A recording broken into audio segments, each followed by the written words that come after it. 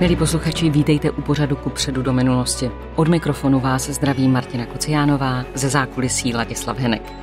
Když jsem byla malá, tak mě v pohádkách rušila jedna informace. Neboj se, hloupý Honza, ale i princezna se zlatou hvězdou putovali často až za devatero hor a lesů a mě vrtalo hlavou, jak v těch lesích nocovali, co jedli, pili a jestli se v noci nebáli. Neboj se samozřejmě principiálně ne, ale co ti ostatní? Nemusí mít jen do pohádek. Ztratit se v lese, od jara do podzimu v něm přespat, nazbírat si lesní plody, upytlačit zajíce, napít se ze studánky, to nebylo nic, o čem by můj dědeček mluvil jako o hrdinství nebo něčem mimořádném. Nám už to tak připadá. Pokud se tedy nepřipravujeme na velké dobrodružství a na zádech nemáme batoh plných chytrých technologií, které nás zahřejí a nakrmí. Naše odolnost vůči diskomfortu je stále nižší, přičemž za diskomfort nepovažujeme jen zimu a hlad, ale také ztrátu pohodlíčka, absenci cigaret, pochutin nebo ztrátu signálu. Co kdybychom se opravdu v přírodě zatoulali? Co kdybychom tam nějakou dobu museli žít, protože by se společnost dostala do vleklé krize? A co hůře, co kdybychom museli za časů ztráty civilizačních vymožeností přežívat ve městě? To vše jsou situace, které moderní dějiny dobře znají a nemusím jít jen do válečných zón bývalé Jugoslávie. Co třeba ekonomický kolaps v Argentíně v roce 2000, hurikány ve světě, povodně kdekoliv. Být připraven znamená nebýt zaskočen, a nebýt zaskočen znamená nepanikařit a nehroutit se při prvním náznaku toho, že věci nejdou tak, jak jsme byli do posud zvyklí. Milí posluchači, mým dnešním hostem je expert na přežití v přírodě Amar Ibrahim. Přeji vám hezký den. Dobrý den. Ještě dodám, že se věnujete přežití v extrémních situacích více než 20 let. Posledních 11 let je to vaše profese. Jste specialistou na boj o život, absolvoval jste kurz přežití v zahraničí, máte atestaci zdravotníka v extrémních situacích i kurz CQB, tedy boje na krátkou vzdálenost. Zdá se, že pokud bych potřebovala přežít v nějaké nevšední situaci, tak jste ten pravý člověk, ale povězte mi, učit lidi, jak přežít. Kde se to studuje? To se nestuduje, to je škola života. Vlastně eh, člověk k tomu, to je dlouhodobé, dlouhodobá příprava. To neznamená, že ten člověk nám na ten kurz přijede na ty tři dny a bude, nějaký věci mu naučíme, ale eh, o mě by se tomu měl věnovat dál.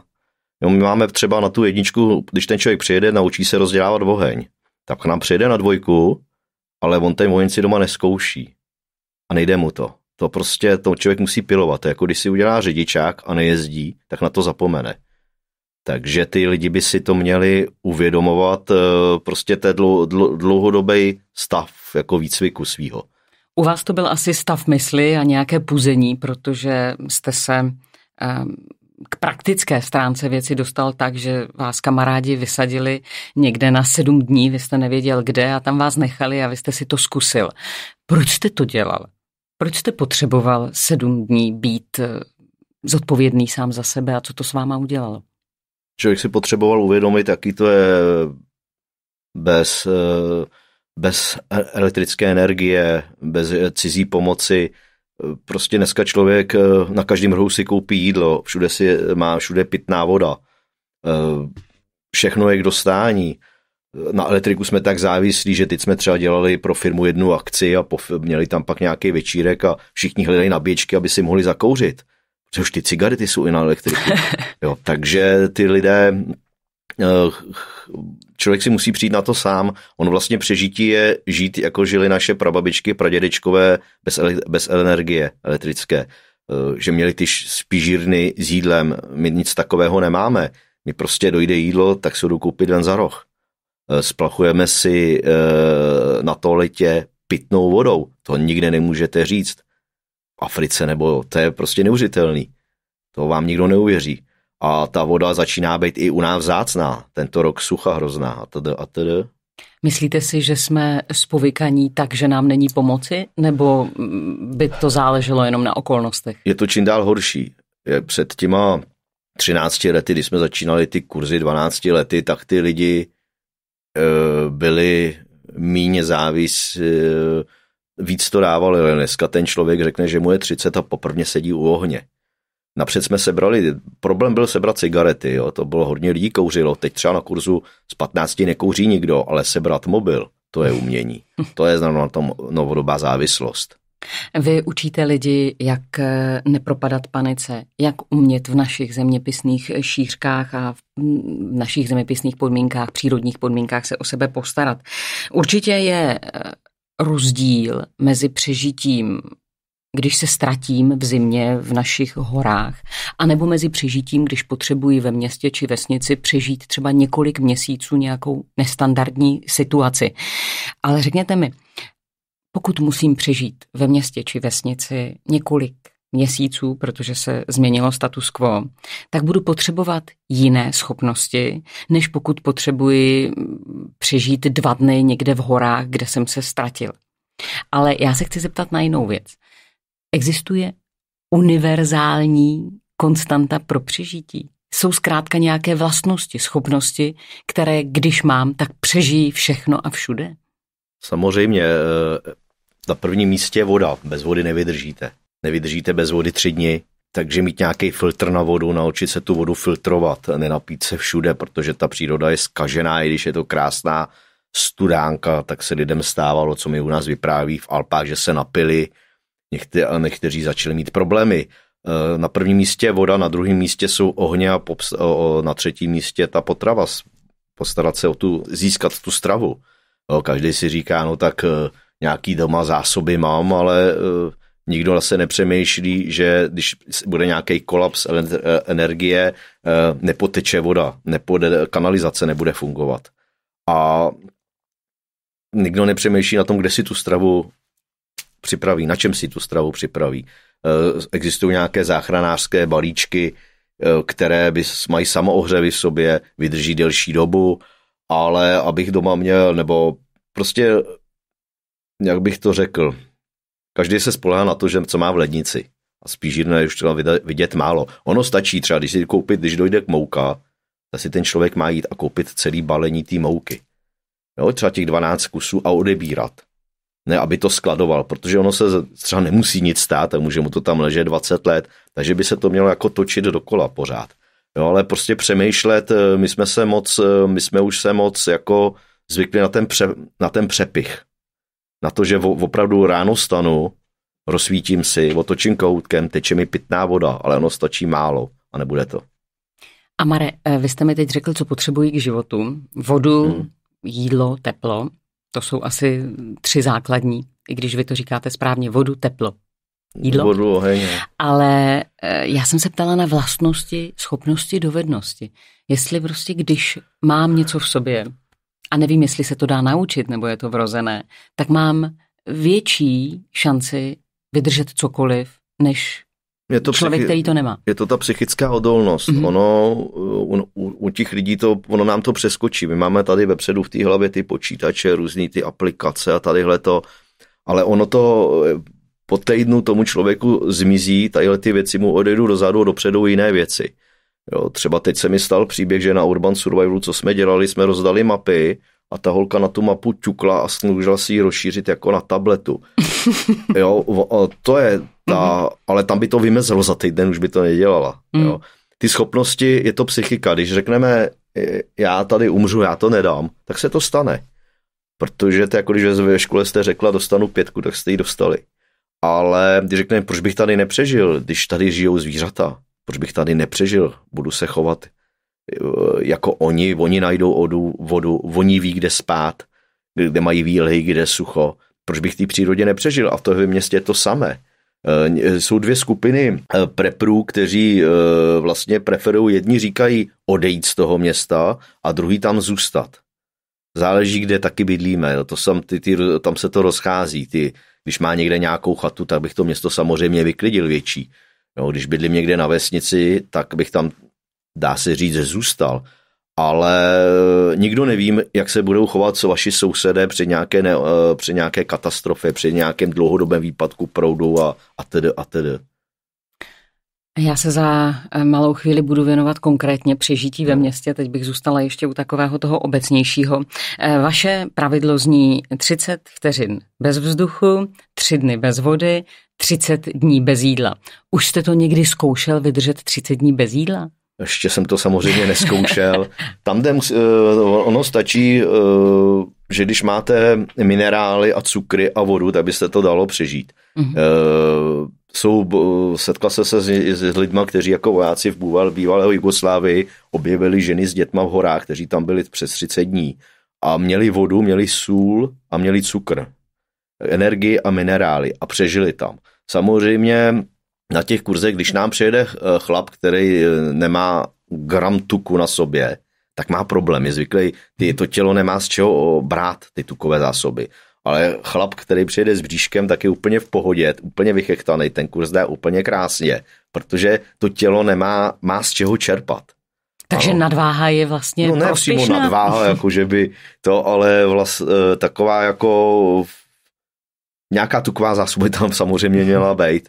Ne, nebýt zvyklý, tadyhle, ty jsou zvyklí každý dvě hodiny si něco dát, mm-hmm. sníst a uh, ona jako bez vody to zjistíte, že vám první na první den vám začne bolet hlava. Druhý den se vám slepí kůže, když vezmete na ruce k sobě, mm-hmm. jako když za ní zatáhnete, už začínáte se eh, blábolit a třetí den upadáte. Jsou nějaký extrémy, že ten člověk vydržel i čtyři dny bez té pitné vody. Ale eh, den eh, stává se mi to, že se zapomenu napít a jde toho, že mi začne bolet hlava. Jo, když ty kurzy třeba děláme rychle, protože i sami si vždycky napomíná napíse, napíse a ta voda je nejdůležitější, opravdu to si my, my, my si to ani neuvědomujeme, neuvědomujeme. My jsme tam měli teď slečnu, která, jsme tam předváděli eh, filtry z nanovláken a ona řekla, ale já doteďka jsem všude pila. Všude jsem se napila, nic mi není. Tak jsem prostě po pěti litrech eh, přefiltrované vody z nanov, přes nanovlákno ten filtr vyčistil, ukázal jsem, co by pila. Mm-hmm. Dneska mi psala, že jde na další kurz na pokračování a že už si filtr koupila, nikdy se nenapije z čiré studánky. Když eh, nemám sebou filtr z nanovláken, protože jdu na houby a najednou ano. se prostě změní počasí, já se ztratím, eh, tak eh, jakým způsobem si tu vodu mohu obstarat v přírodě? Pokud Co? nepiji ze studánek, anebo třeba zrovna jsem v oblasti, kde žádná není. Když žádná není, tak bychom stavoda se dá najít. Všude, jak jsou třeba ty zvěře plná, plná, u nás jsou třeba českém lese plno zvěře, takže si najdu třeba stezku vyšlapanou od zvěře, to není od lidí, to opravdu to jsou třeba stáda 50 eh, kusů uh, dančího a ona vám přivede k té vodě. Z kopce důl ty lidi, zvířata chodí pít, takže by vás to přivede k vodě. Když něco takového není, tak si můžeme ráno nazbírat rosu, samozřejmě do nějakého šátku, pak si to vyždímat, anebo se můžeme napít z mechu ale ten by nesměl ležet na té stezce pro zvěř, aby nebyl nějaká znečištěný. A mech obsahuje jod, ono to, když si ho vyždímáte, tak má takovou zelenovou barvu, ale napijete se z toho. Samozřejmě dají se jíst uh, různé plody na podzim, to příhraničí, to jsou bývalé sudecké vesnice, tak tam je plno ovoce, ještě do teďka. Dá se, říkám, na jaře se člověk může pást, protože to jsou pampelišky a další věci, které vám tu vodu dají ale ta voda je nejdůležitější. Jako lidé se ptají, jestli jsem to, jestli to, ale když jdu do lese, tak vždycky mám lahé s vodou, mám křesadlo a nůž, i když se jdu projít. Kdyby náhod, náhoda je blbá, může se něco stát, můžu někam spadnout. Jo, takže být připraven. Vy jste říkal získat vodu z mechu. Znamená to, že ho zkrátka vezmu a jenom ho zmáčknu? Jenom ho vyždímete, ale samozřejmě ta voda v tom musí být, mm-hmm. jak jsou poslední dobu ty suchá tak těžko se to najde. Protože když máte sucho v lese, což jako je, eh, vy tady to v Praze moc jako nepoznáte to sucho. Stačí věc někam fakt na to českého lesa nebo něk na Šumavu. Ty lesy jsou suché, už usíchají. Mm. Jo, to, ten kůrovec eh, nastupuje dál a dál, opravdu je sucho. Třeba tam, kde třeba před osmi lety jsme chodili, nabrali si vodu, která tekla, tak ten, ten pramínek z, z toho Čerchova je vyschlej, není. Takže ta voda začíná být eh, velký problém, protože říkám, si to lidi sebou nosili. Teď, teď jsem měl na kurzu nějaký chlapy a ty nám říkali, no my jsme byli před deseti lety někde, tak tento rok jsme tam šli znova. Nevzali jsme si tu vodu, teď jsme věděli, že za dva dny na tu vodu narazíme, jako velké zásoby přišly a voda nikde, tak jsme by další den utíkali dolů pro vodu, protože vodu jsme tam prostě nenašli, nepočítali jsme s tím. Vy radíte i takový fígl, že si sebou berete do KPZky dámské tampony a ty necháváte přes noc, aby nasály vodou a ráno se z nich můžete napít. Eh, je to funkční, anebo je to spíš eh, taková, mm, tak, takový forek do kurzu?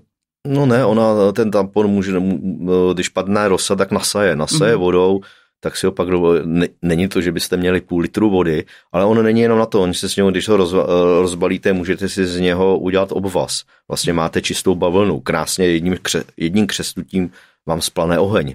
Jo, takže ono je to, já jsem si, jo, už se mi lidi kvůli tomu směl, že, je, že je doporučuju, ale ono zatím nic jiného vymyšleného není. Teď jsem třeba jo, více účelové. Vždycky ty věci jsou na, na, na jeden účel. Třeba teď jsem třeba odpad ze sušičky, ze sušičky na prádlo, taková ta, ta perfektně podpaluje. Mm-hmm. Ale zase to ne, nenasaje tu vodu. Jo, není to tak čisté, jako ten tampon, který je z čisté bavlny, takže jo, funguje to.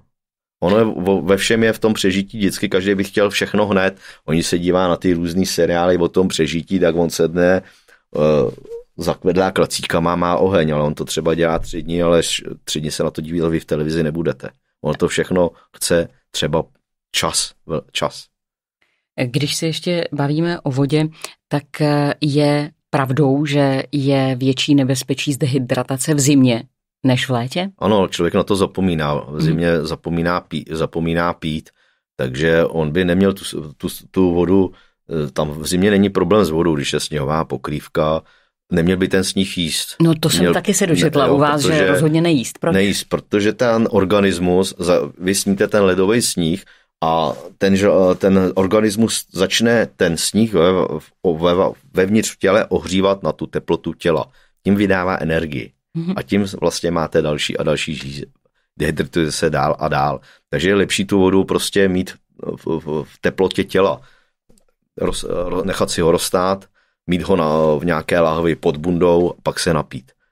Jo, neměl by ten ani ledovou vodu. Třeba když jste na poušti, tak vám někdo, ty beduíni, vám dají teplý čaj, protože když má ledovou vodu, tak vy chlamtáte 3-4 litry a pořád máte žízeň. Ten ve, vevnitř ten organismus tu ledovou vodu nezůstane ledová. Ta se ohřává na teplotu vašeho těla a tím to tělo vydává energii. Ten, proto ten šálek toho teplého čaje s cukrem. Vy říkáte, že v extrémním případě je nutné vypít svoji moč. Pro někoho je to nepřekonatelná představa, jiný urinoterapii praktikuje, i když není v nouzi. Eh, setkal jste se někdy v situaci, kdy jste byl nucen toto udělat při nějakých jiných vašich kurzech třeba. My to tam učíme na těch kurzech, na těch mm-hmm. vyšších levelech. Uh, on by se měl napít první tu moč, pak by se měl napít zase vody a pak moč zase. Mm-hmm. Ne, že tu moč bude pořád, protože pak už tam Sole. jsou tox, mm-hmm. různé mm-hmm. špatné mm-hmm. látky a to, ale mm-hmm. člověk by si to měl vyzkoušet. Jo, on, uh, ta moč zase uh, na, jednom, na jednom televizním kanále se viděl, jak frér si do něčeho vymočil, nesl to sebou a pak celý den to pil. To je další blbost, ta moč se kazí. Mm-hmm. Jo, takže Eh, třeba lidi o tom ví při těch vyšších kurzech, že tam to budou zkoušet tu moč, tak třeba týden před kurzem pijou uh, mošty jablečné, aby měli uh, tu chuť, ale jde to, jo, jde to. Vyrábí si moč se Vyrábí si, aby, aby měla dobrou chuť. ono to všechno je v hlavě, jo. někdo to, měli jsme tam člověka, který to vůbec nedal a protože mu to hned, hned mu to kopalo takzvaně, ale ono opravdu všechno je v hlavě. Jo, zavřít oči, ucpat si nos. Když si zavřete, zavřete oči, ucpěte nos a napijete se cokoliv nebo sníte, tak nemáte chuť. Takže to je jedna rada, která by vám mohla zachránit život v extrémní situaci. Zacpat si nos. Zacpíte si noc a zavřete oči a něčeho se napíte. Uh-huh. Ta chuť je úplně jinde, nebo něco sněste. Hmm. Tak pokud už jste to vystou, eh, vyzkoušeli, milí posluchači, tak eh, jdeme dál. Eh, když vás poslouchám a když jsem četla vaše rozhovory, tak jsem si vytvořila dojem, že vlastně přežít není vůbec žádný problém, že to chce hm, trochu cviku, trochu pevné vůle, trochu dobré vůle a pokud jsme v problému někde v Evropě, tak pokud se vůbec ne, třeba nezraníme a podobně, tak můžeme přežít kdykoliv, jakkoliv. Je to opravdu tak snadné, nebo i v Evropě hrozí, eh, víme, že každý rok zemřou někteří lidé, kteří se ztratí v horách a tak dále. Co je vlastně největší nebezpečí, když se ztratím kdekoliv v Evropě? No se říká, že největší nepřítel člověka v Evropě je člověk samozřejmě. Je ta nepřipravenost těch lidí. I ten hygienismus. Já jsem třeba minule jsme šli někde asi před dvěma rokama v lesích a najednou proti náma šla holka s klukem batohama neměli boty. Tak jsme si řekli, a to jsou nějaký uh, zkoušej to a oni mhm. plakali a řekl ta holka pryč a že jim v noci někdo ukrad boty cesta od stanu. Mm-hmm. jo? Mhm. Ale o to nejde, ten člověk je nepřipravený, třeba potkáte nebo čtete v zimě, že žen, ženský šli, Češky se šli tamhle do v nízkých Tatrách nahoru a šli v Keckách a najednou přišel sníh. A nebo můj kolega, instruktor, byl někde na výšlapu v horách a proti mému šla ženská v lodičkách. Prostě ta nepřipravenost těch lidí. Jo, mě, mě, mě, samozřejmě mobil zachraňuje lidské životy, mít ho na, nabitý, mít nějaký křesadlo, mít sebou vodu, když máte děti, mít nějakou čokoládu, kvůli energii, nebýt nepřipraven. Může se cokoliv stát, změnit, změna počasí je docela rychlá v dnešní době a pak už je, aplikace vám neporadí. Ta vás nezachrání, ta vám nedá napít. Hmm. Ano. Jsme v lese, právě jsme se napili, ať už jsme vymačkali mech, nebo jsme našli nějakou studánku a třeba máme sebou tablety a přefiltrovali jsme ji, nebo máme vodu sebou. A vy říkáte na druhém místě zajistit oheň. Oheň, ano. Uh, už jenom z psychologického hlediska, že člověk se najednou cítí bezpečněji, je zahřátý a kromě toho vy říkáte, že si můžeme v ohni vytvořit um, dřevěné uhlí, které se dá i jíst. A to je moje otázka, prosím vás, kolik uhlí se tak dá sníst? Tam ohně? asi bylo nějaké to chybně podáno, ono by se ne, ne jíst, ale když máte žaluční problémy, tak mm-hmm. ho mhm. můžete sníst vlastně. On desinfikovat. Přes, desinfikovat. Mm-hmm. Voda je důležitá k tomu, že vám dá teplo, světlo a z 20%, když jste, tak vám naskočí přežití na 80%. Mm-hmm. Vy ho musíte umět rozdělat, samozřejmě. Musíte umět to křesadlo použít, to se, uh, mít nějaký, uh, buď ten tampon nebo březovou kůru, a to ty lidi učíme, tam do nich pořád hustíme. Vy tu vodu přefiltrujete přesně vodem, že ji, že ji převaříte, tu vodu. Když máte nějaké jídlo, uděláte si i, uh, můžete si cokoliv udělat, uděláte si čaj, i v peclašce, která se vám válí v přírodě, se dá udělat čaj. A ta příroda je opravdu s, ne, s těma petkama všude.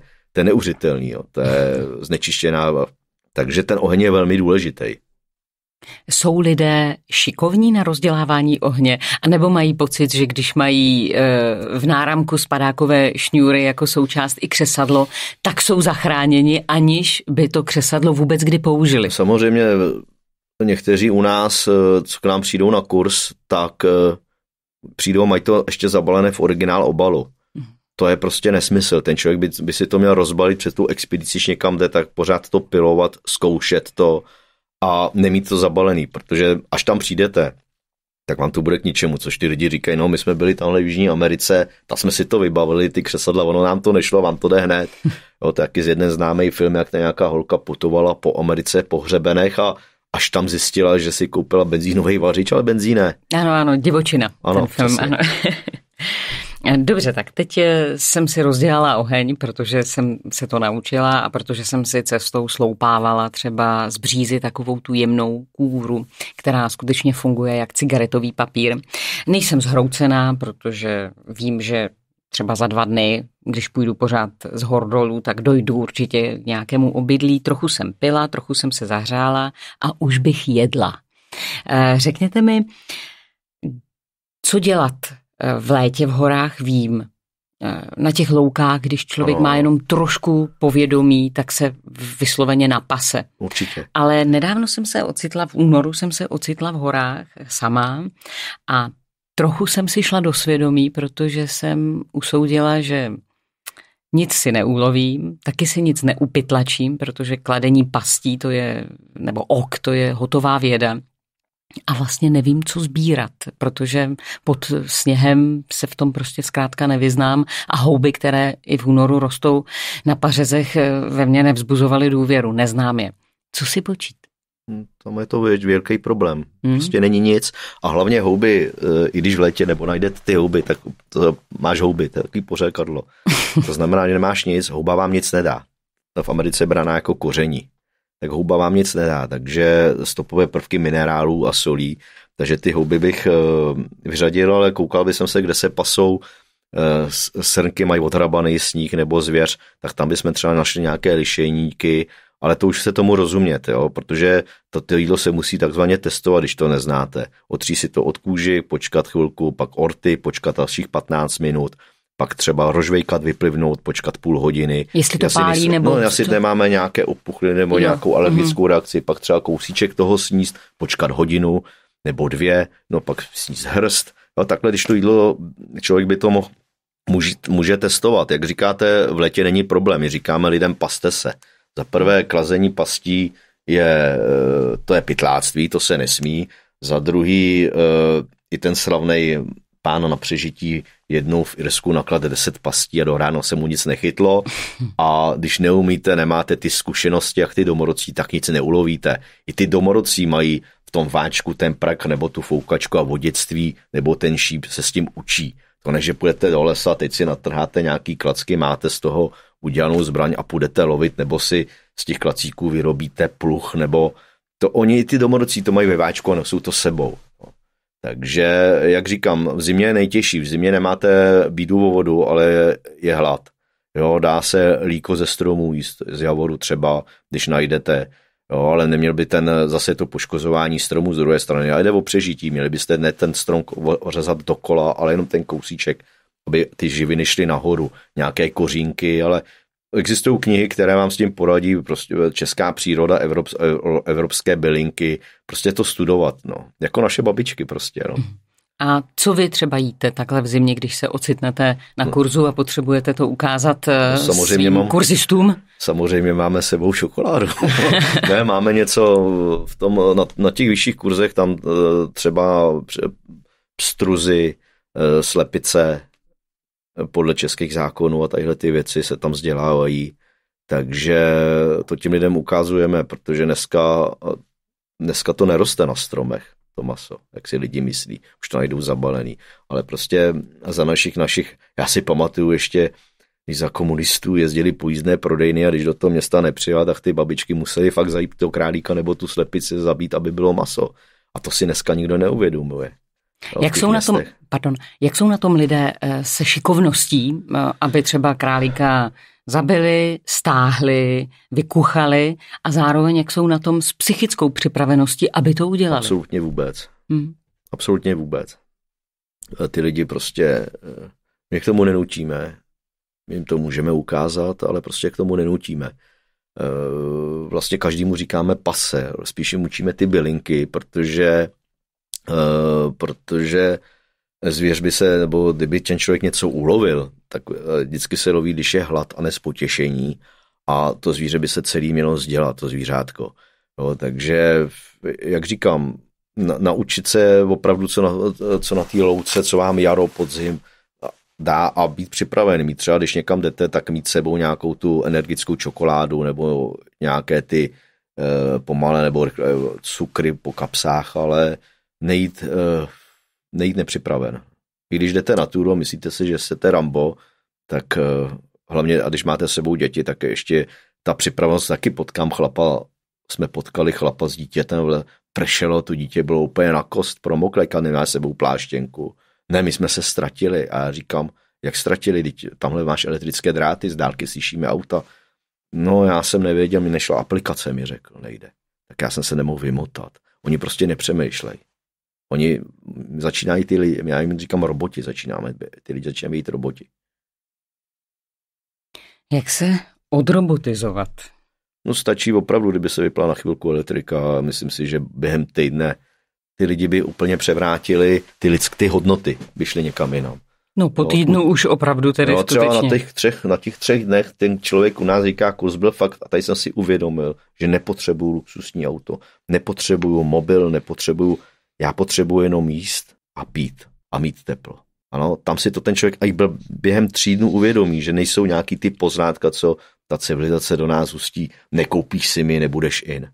Ono to je nejsmutnější, že je to u těch dětí teď vidět. Jo. Dolů sklopená hlava, mobil v ruce, sluchátka v, v uších a to jsou jako zombie takzvaný, nebo já nevím, jak to pojmenovat. Je to hrozně špatný, jo. Ty třeba jsme dělali kurz přežití pro děti, děláme s rodičema vždycky, což je docela Uh, docela se to teď rozjelo, ty někteří tatínkové na to slyší, nebo maminky, ale ty děti je, jsou tak závislí na, mo, na těch aplikacích, na těch tabletech, že, že až neuvěřitelně. Abstinenční příznaky na dá, dá, dá se říct, hmm. jenom stačí, když se já vytáhnu mobil nebo vysílačko, potřebuji si někam zavolat nebo něco zařídit, tak děti se seběhnou a ptají se, co tam mám za hru. Hmm. Což je neuvěřitelný. Co tam máte za hru? Šachy, prosím. No. Když jsme se bavili, že vaše rada pro přežití ohledně jídla zní pas se, tedy pást se, tak vy ale také říkáte, že může zachránit život hmyz. No, ano, ano. Je to jen tak prostě zkrátka sbírat eh, broučky, protože jsem někde od vás četla, že barevný hmyz bývá většinou jedovatý. A to jsem se chtěla zeptat, zdali i u nás, protože vím, že ta výstražná zbarvení, tak ta se přisuzují různým rosničkám v Amazonii a podobně. Čím barevnější, tím nebezpečnější, ale jak je to s hmyzem v Česku nebo no, v Evropě? se sem začíná vracet, jak začíná být čím dál a víc teplo, tak ty ze, ze zhoda, ze zdola z jihu, ty bručkové sem taky lezou. Uh, ono jak to, ale to je jedno s druhým. Samozřejmě, když odlupneme někde kuru a víme tam krásný bílý, bílé larvy, tak ty se dají sníst. Uh, dnes minule jsem koukal, jak to smaží na jihle na, v Praze na nějakých těch uh, trzích uh, cvrčky a, a larvy a prodávali to tam za velké peníze a lidi to tam jedli, tak to, by, to, to jde, ale zase to souvisí s tím suchem. Když máte sucho a odlupnete tu kuru, tak tu larvu nenajdete. Takže není, prostě je sucho. A dá se to, samozřejmě by to nemělo být barevný, ta husenka by neměla být duhová, jo, on ten odpor k tomu, ty lidi dají, ale dávám to hodně minerálů, kobylky se dají jíst, jo. Vlastně ty jsem taky viděl teď smažené nějaký cvrčky, to všechno se dá, a když k tomu je ten odpor, tak eh, je to třeba si to udělat na té pánvice trošku orestovat, ale jak říkám, ten oheň je důležitý. Tadyhle ty, na to by člověk měl být taky připraven. Samozřejmě některé státy chtějí do budoucna, že 10 nebo 5% teď ani bych, nebo 20% by měla obsahovat potravina, potravina nahrazená z nějaké moučky z těch, z těch červíků a různých kobylek. To je jako ta bionafta a dalšíhle ty věci. To je prostě jenom pokus. My to tam nepoznáme, ale je to pokus. Jako výborný jsou třeba teď nějaká firma šla na trh, že přímo z těch, eh, jsme bavíme z baručků, je tyčinka čokoládová, jako z příchutí mm. čokolády. Já jsem ji testoval, byl jsem na nějakém jednání, tak mi ten majitel firmy dal ochutnat. Vyvíjíme i jídla pro nouzové situace.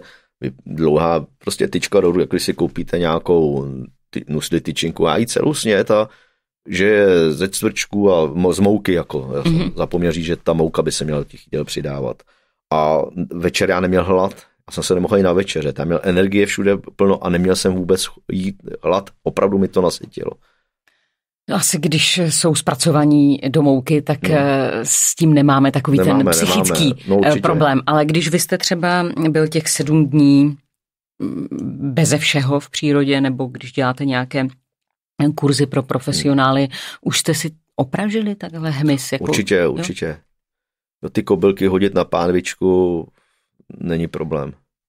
Jo, třeba opražit, eh, to se dají opražit i, eh, opražit i třeba eh, žaludy, ale ty musíte žaludy, ty třísloviny, to ty hořkosti zbavit, že několikrát je musíte pětkrát až šestkrát ve vodě vařit, aby se ta hořkost z nich dostala, pak se to dá opražit. I takhle se dělala káva za války a i mouka.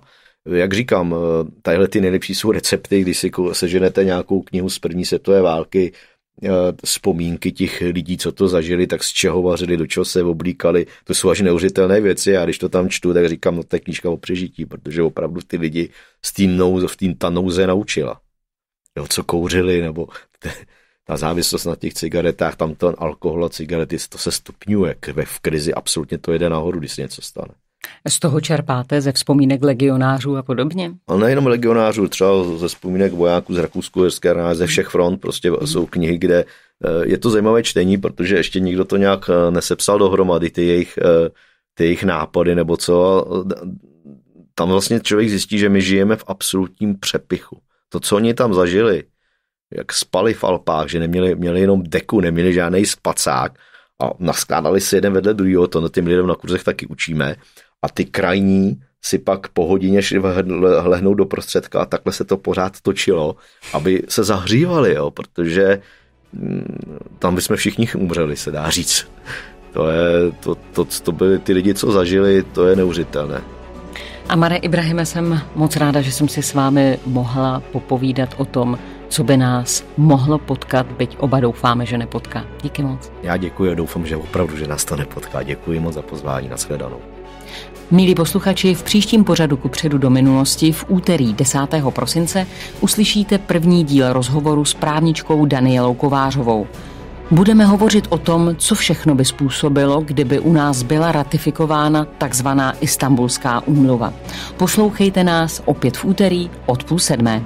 Česká republika má právní řád, který je založený na naprosté rovnosti mužů a žen ve všech oblastech. Samozřejmě i v oblastech trestních, procesních, opatrovnických. Všechna ta slova mají význam ve vztahu k Istanbulské úmluvě.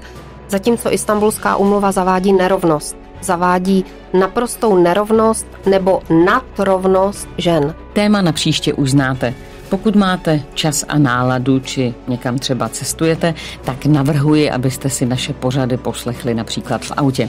Na našem webu či Facebooku najdete všechny zatím odvysílané rozhovory ku předu do minulosti. Martina Kociánová a Ladislav Henek se na vás těší příště. Zatím se mějte hezky a něco proto dělejte. Nikdo jiný to za vás neudělá.